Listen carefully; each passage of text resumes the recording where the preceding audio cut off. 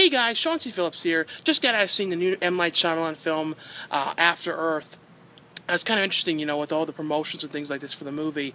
You know, his name, M. Night Shyamalan's name wasn't even put on the poster, or it was real kind of small and kind of hidden away from people. Because I know, like, his last couple of movies, people have really disliked. You know, he really made, in my opinion, four really strong movies, which was like The Sixth Sense, uh, Unbreakable, Signs, and I really liked The Village. I know people didn't love The Village. I never exactly saw what the problem was with it. I always thought it was a very interesting movie. I always liked those kind of period movies. I know the movie though when it was coming out, people were kind of making it their mission to review, like reveal and ruin the twist of it. I remember when all that was going on with it, people were kind of like trying as hard as they can to ruin it so people wouldn't go to it because they, you know, are kind of mad about him with the twist. You know, this movie though, it's done horrible.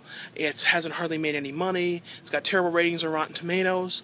I, I, in all seriousness, though, you know, looking at this movie, I don't see exactly what's the matter with it. You know, to me, you know, when it was over, everyone got up and said that was horrible, that sucked. You know, I'm sitting there thinking, there's nothing the matter with this. What, what, I mean, I you know I admit that I like a lot of not bad, not perfect movies, but I was not seeing anything that was standing out to me with this that was like this is awful, this is terrible. And there's been movies like that that I have seen that come across like that there's everything wrong with it, nothing is interesting. And I know Will Smith's character pretty much was in the ship while his son went out and you know tried to find the beacon, but I guess that was a thing people didn't like. I guess they didn't like that they gave them these kind of weird accents. Kind of like with Cloud Atlas during the one segment, they kind of had this kind of weird inflection to their voice. Maybe people were kind of annoyed by that. But the movie was about Will Smith and his son, and Will Smith is basically someone who has no fear, and everyone, you know, had to leave Earth because of disasters and things like that, move to a new planet, and, um, you know, Will Smith is someone who kind of kills aliens and can kind of kill these certain type of aliens because he has no fear, and the aliens sense fear. So, you know, his son is kind of distanced from his father because of something that happened earlier in his life, and the father really isn't giving him too much of attention, and he ends up bringing his son along on this mission that he's going on. The ship ends up running into an asteroid field and ends up crashing on Earth, which was, you know, quarantined. And the mission is, you know, since his father is in a bad way and can't, you know, gets injured, he has to send his son out to try and send the beacon back to get help.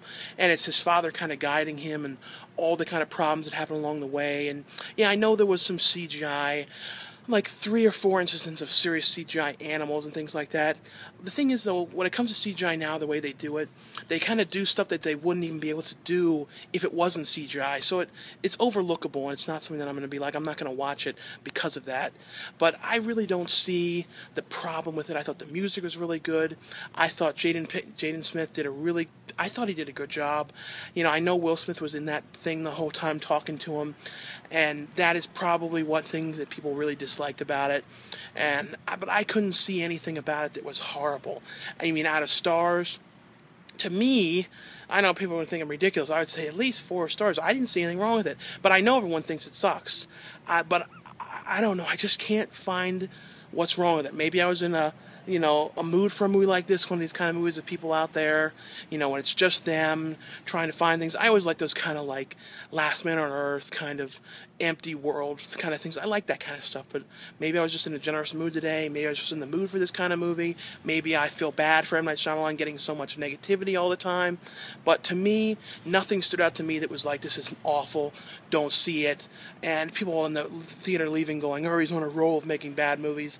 I don't know, just to me, I liked it. So anyway, though, look forward to hearing what you guys think of the movie. Let me know your opinion of the movies, and if you didn't like it, I'm interested in hearing what you guys didn't like. I didn't want to read any reviews in this movie. Uh, I want to just go into it open-minded. So anyway, though, I'll see you guys later. Bye.